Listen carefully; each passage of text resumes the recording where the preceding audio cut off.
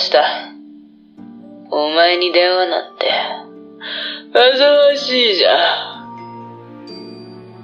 ん。ん？俺？別に寝てなんかねえよ。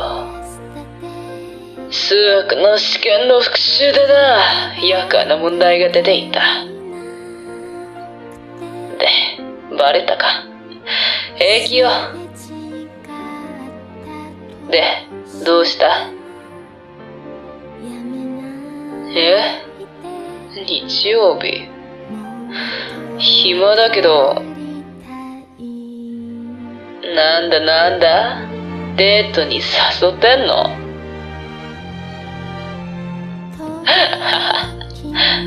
悪い悪い。相手にしてやる。構わないぜ。それだったのか。それで、お前もそろそろ寝ないと、目のクマを得て、可愛くなんてなれねえよ。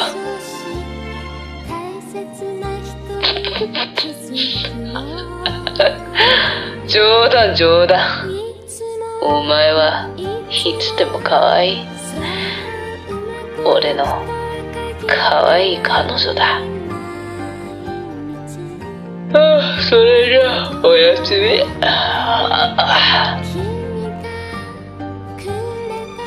俺も大好きだ。